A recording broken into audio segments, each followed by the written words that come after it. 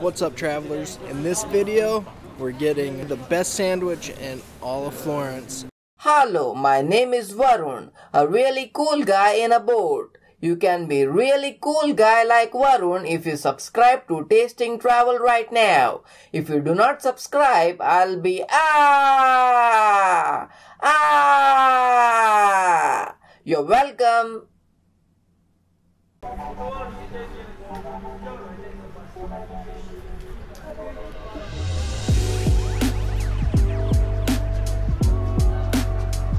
Getting what's supposed to be the best sandwich in all of Florence at All'Antico Vinaio. So let's check it out.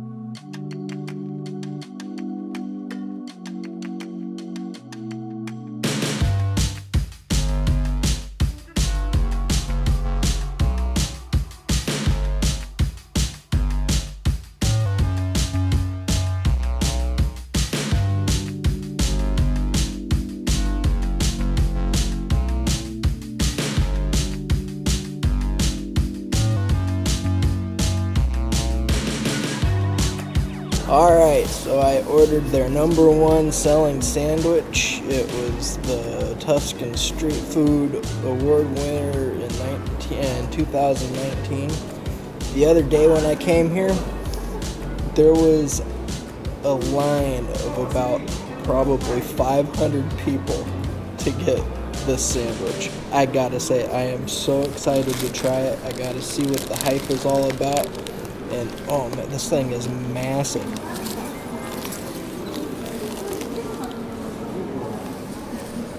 Mm.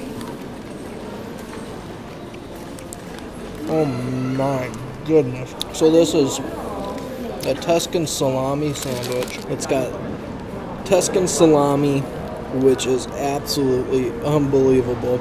It's got a nice peppery aftertaste to it, and then uh, and then it's got I think I think probably a garlic aioli and a lot of it, and then I think they might even have some uh, porcini mushrooms in here. Uh, it is absolutely fabulous.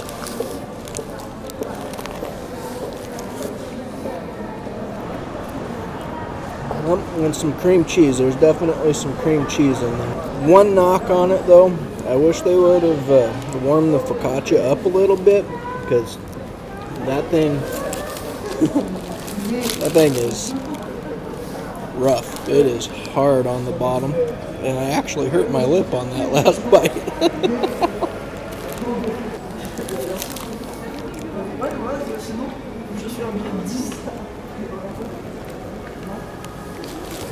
Seriously, you can't you can't do better than this in a sandwich. It's so good. But honestly, I really wanted to try this place. I wasn't sure I was going to get the chance. This is my last night in Florence. I'm heading to Rome tomorrow. It should be should be pretty fun. I do love Rome. so my first time I came to Florence, I didn't know about this place. It was right after the world had basically opened up from COVID. There weren't any big lines or anything like that to show me, hey, that's the place you want to go. So I went to another place down the road. There's a video to that up here. Uh, if you want to check that out. I was sad. I learned about it after I left. This is this is freaking fantabulous.